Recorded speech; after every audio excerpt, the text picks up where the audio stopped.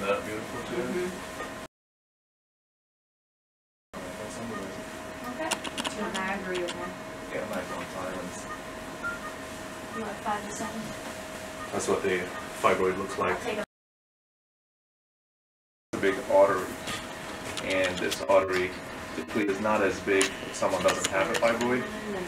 The fact that it's big is because it is feeding a big fibroid. And so what we do is we get as selective as possible into that artery, uh, and we inject tiny little particles um, that take basically occlude this artery and uh, prevents it from further feeding this fibroid with blood supply. Eventually, and the fibroid, if you're seeing on the screen, it's that big circular guy that is opacifying and turning dark. See that? That's the fibroid within the pelvis. So once we the artery now, we'll do another run and we'll show you how much less blood supply is going into this fibroid.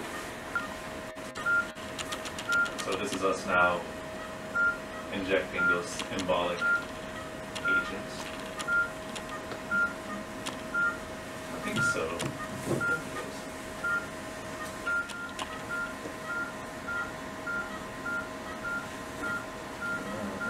Here. Let's put some, uh, some action.